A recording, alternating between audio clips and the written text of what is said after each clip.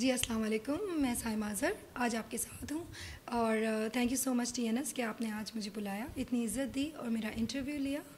और सबसे पहले मैं मुबारकबाद देना चाहती हूँ टी एन एस को उनकी F T N N service के लिए।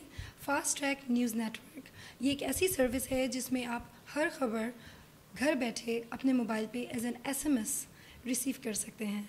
सो so, बहुत बहुत congratulation and best of luck for this service चूँकि ईद करीब है इसलिए टीएनएस की तरफ़ से और साय माजर की तरफ़ से आप सब लोगों को दिली ईद मुबारक।